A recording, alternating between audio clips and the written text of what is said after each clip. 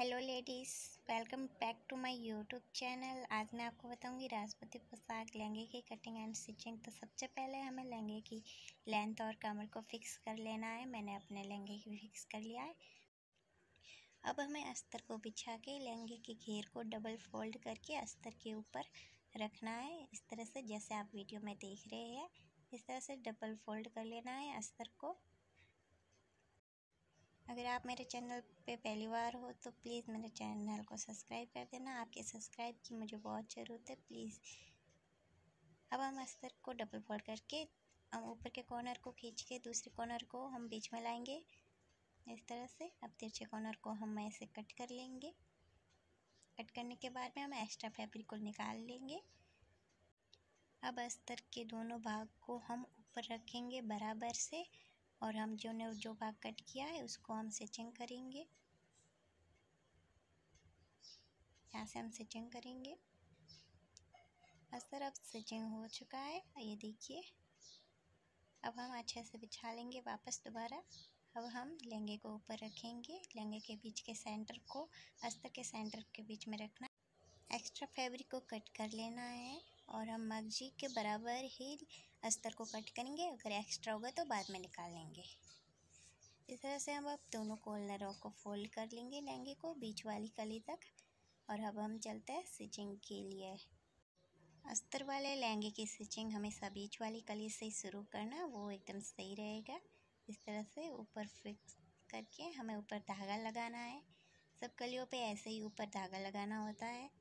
अगर आप पहली बार करें तो इसे सुई से कच्चे धागे से भी आप सिल सकते हो और मेरा हाथ में बैठ जाता है तो मैं ऐसे ही धागा लगा लेती हूँ।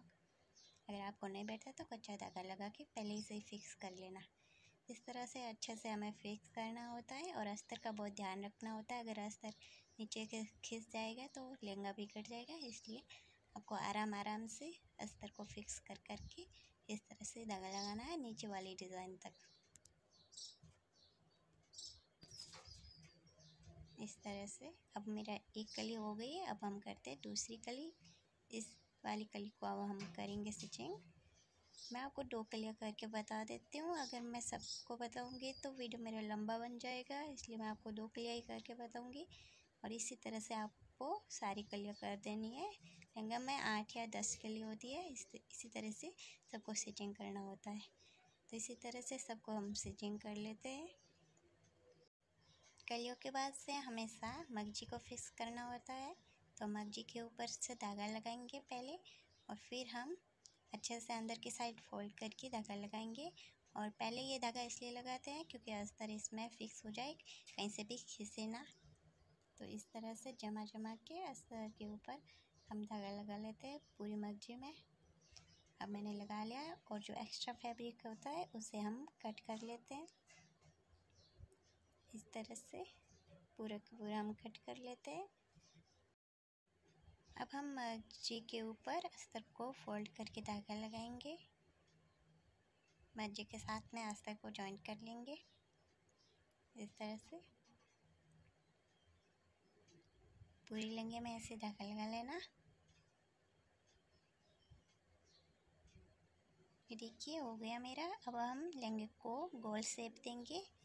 जो हम नीचे से मैं धागा लगाना शुरू कर रही हूँ इस तरह से पूरा हमें लहंगे को गोल सिप दे देना है लहंगे में हमेशा हम ऊपर से फोर या फाइव इंच का छोड़ देते हैं और अब इसको हम अंदर की साइड फोल्ड करके इसके ऊपर भी हम धागा लगाएँगे इस तरह से घुमा के